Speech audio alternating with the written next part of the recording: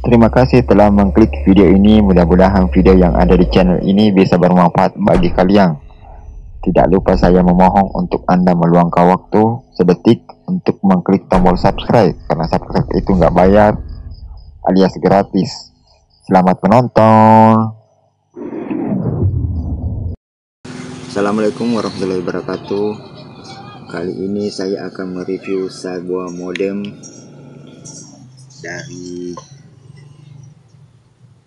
Telkomsel yang mana modem ini telah 4G dan mempunyai kecepatan 500 Mbps.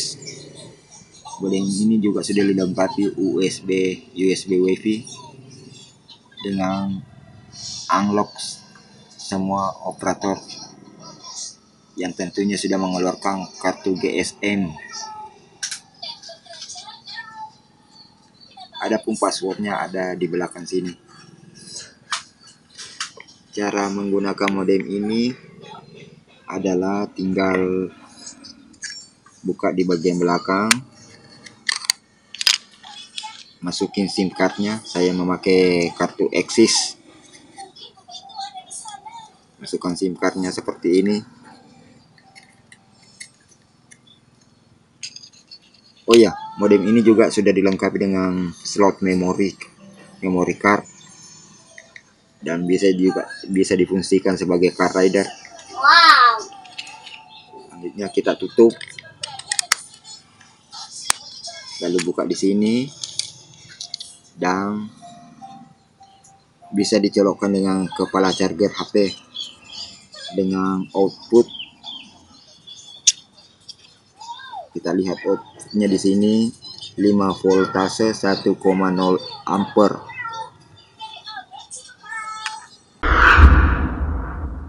Cara menggunakan modem ini tinggal colok saja seperti begini. Jadi benar-benar plug and play dan tunggu beberapa saat sampai lampunya nyala. Ini dia lampunya. Sudah menyala sampai lampunya berwarna hijau artinya sudah dapat signal. Dia lagi mencari signal ini. Nah, ini lampunya sudah warna hijau. Sekarang saya akan coba mengkoneksikan di HP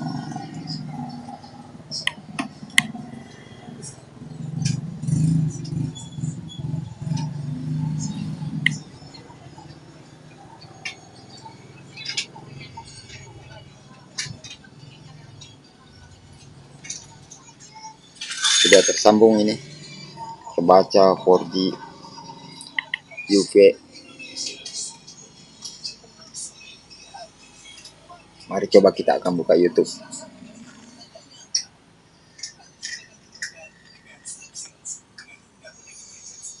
Koneksinya kurang bagus ya di eksis di sini. Ini sudah terbuka. Oke untuk penggunaannya di komputer atau laptop. Nanti kita bunuh dulu modemnya cabut lalu pindahkan ke PC coba.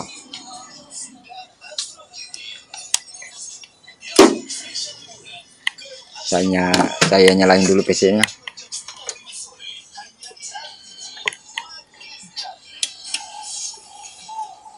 loadingnya coba sebentar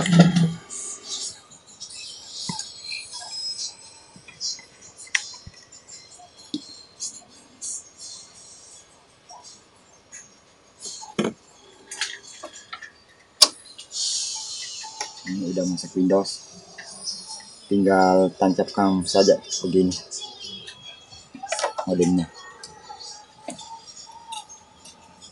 Tunggu sampai nyala.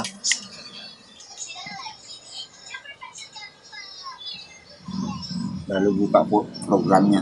Karena saya sudah menginstal ini. Lagi loading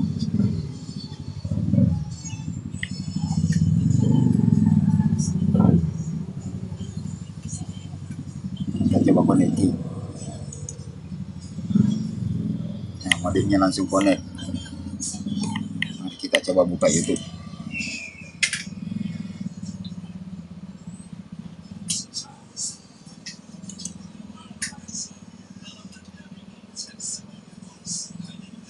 Nah, ini dia.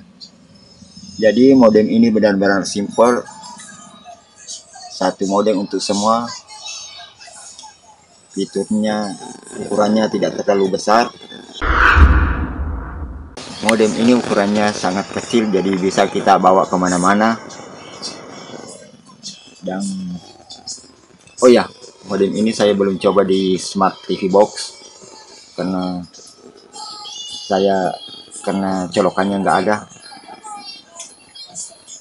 nanti saya akan update lagi kalau saya sudah menemukan colokan dari TV box itu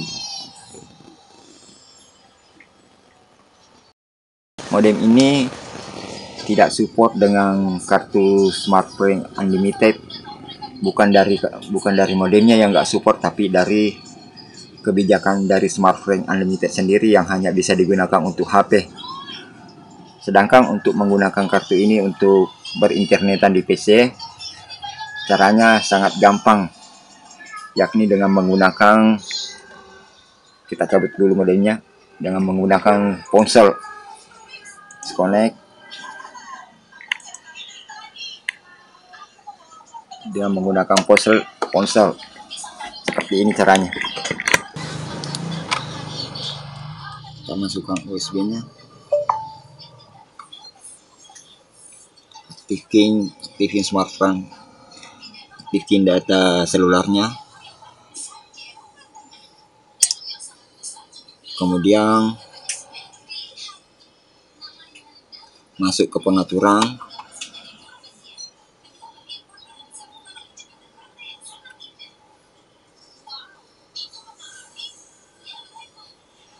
Masuk ke koneksi.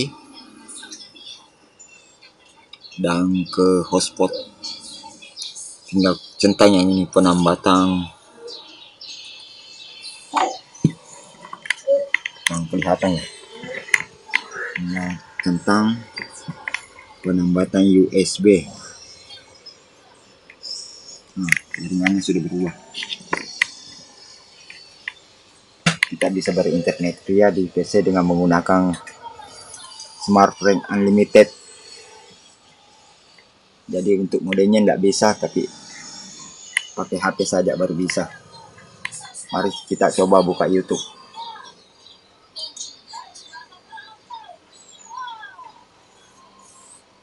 ini dia terbuka YouTube-nya.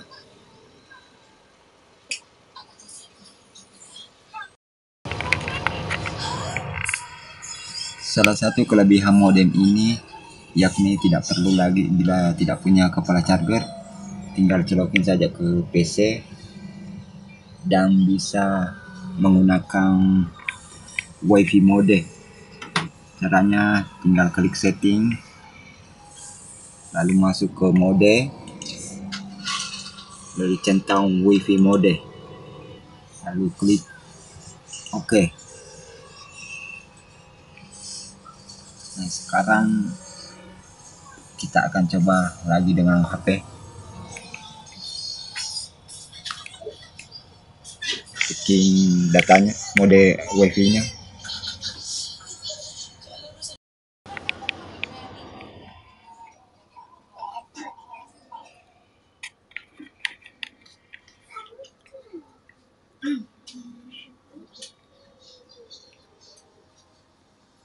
ini dia modemnya sudah tersambung kembali. Sekarang kita coba browsing, browsing YouTube.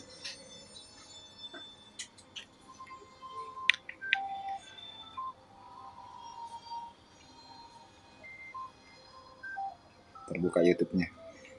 Apabila bosan di HP tinggal disconnect aja. Matiin wifi nya lalu buka programnya.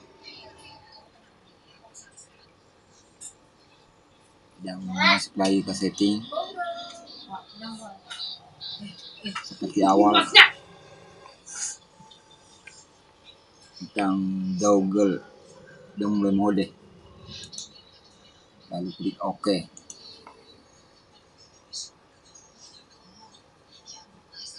Kita akan coba connecting ini langsung connect.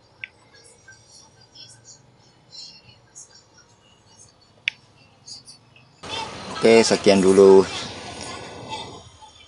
review kali ini. Semoga ada manfaatnya bagi kalian. Jangan lupa klik tombol subscribe karena subscribe itu gratis. Bye bye